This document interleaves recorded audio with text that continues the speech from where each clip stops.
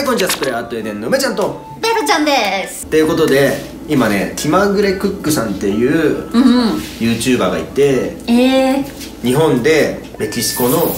サボテンをうん。料理したんだけど多分ね作り方見てたらねベロと違ってて。あそうなの？でなんか美味しくないトレが入ってたとか 言っててね。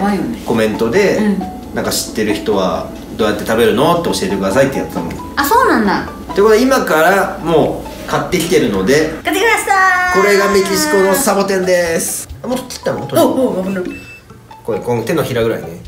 じゃあこれね。本場の。じゃあこれなんていうの？トゲ。トゲ。はい。じゃあまずトゲね。トゲをもうもう切ってあるんだけど、うん。まだまだどっかに残ってるから、うん。そのトゲを全部うん。抜いてから料理を作りますね。じゃあもうトゲね。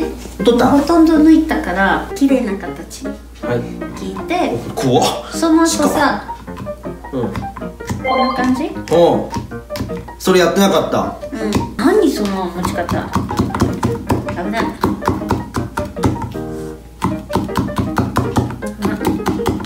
いいですか？オッケー。はい。でね、これは細いでしょ、はい。本当に太いやつはさ、うん。半分に切らないとあだからテレビでやってたやつはうん。熱すぎたから本当は半分に切んないと火が通んないのか。そうそうはい、はい、ということでね、うん。今から鳥を取ったからベロちゃんが料理を教えてくれます。なんかフリスビーがあるからピシュッ。違います、はい。これはメキシコのフライパンの代わり、フライパンの代わり。これをやる時のね。うん、これはトルティーヤスとか、うんこれコマルっていうの。コマールさんコマル初は強い強火最初は強火。強火。火曜日。水水曜日。水曜木曜日。弱曜日。弱曜日。あオッケー。じゃええ油を？あ油つけないよなんで？これ焼き？焼くんだ。オッケー。これねなんか10分かかるよ。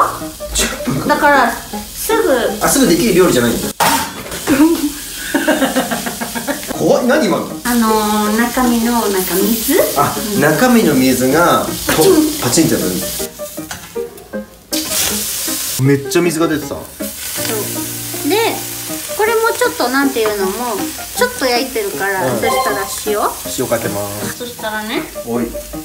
おおこうで。おおこうで。こうで。本当に？うん金子さんやってたやつ違ったよ。違った、う弱火？ん弱火にします。で8分待ちます。これは完成です。めっちゃ柔らかい。ほら。待てよ。めっちゃ柔らかくなってる。初めてのサボテンステーキ。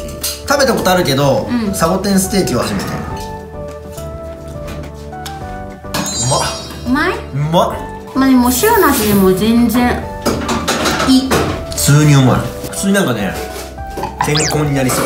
健康になる、なんか緑の野菜って感じ。美味しい。うん。美味しい。うん。このの3つで3つで。3ペソえ？今これで6円ってこと？そう6円。やばくない？めっちゃ安くない？ことはメキシコのサボテンは？美味しい。美味しいいうことで楽しいと思ったら？チャンネル登録と高評価お願いします。